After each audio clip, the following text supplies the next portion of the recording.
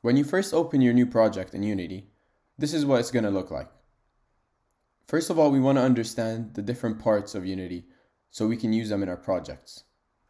Let's start with the hierarchy. The hierarchy is going to list the current scene that's open, which in this case is sample scene, and the objects that are under the scene. So right now we have two objects in the scene.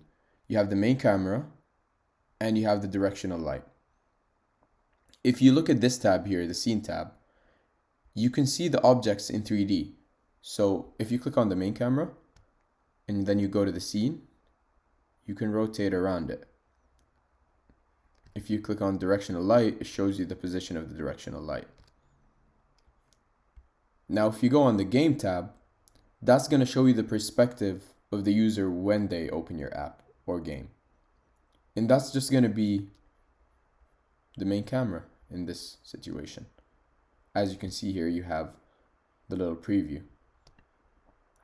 Now moving on to the inspector. The inspector shows you the properties of the selected object. So if we have the main camera selected right here and we go to the inspector, you can see it shows you the properties of the main camera. It has the transform, which contains the position, rotation, and scale of the object. It has the camera, which has all these different components, and it has an audio listener. So as you can see, if you click on directional light, you have different properties. So each object is going to have different properties and components attached to it and the inspector allows us to see all of that. Down here in project, you can see the files that are in your current project.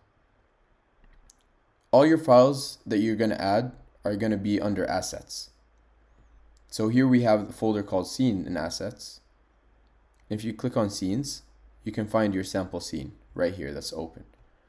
Let's click on return or enter and then rename it to main scene and then it's going to ask you if you want to reload since the scene is open and we did a change to it we're just going to click on reload and as you can see here now it's called main scene if you want to create a new object you go to the hierarchy and then from there you can right click and Unity provides basic templates for you to use for example let's use the cube object you can just click on cube and as you can see in the hierarchy we have a new object in this scene and it's called cube. If you want to rename any of these objects, you can just select them and click on enter. Let's call it my cube. And then you can just set command S or control S just to save. From there, if you go around in the scene tab, you can look around this object and see its current position in the scene. As you can see, if you select the camera, now the cube is in the camera preview.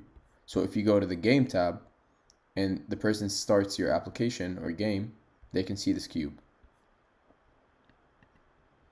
This is going to be the basics for now.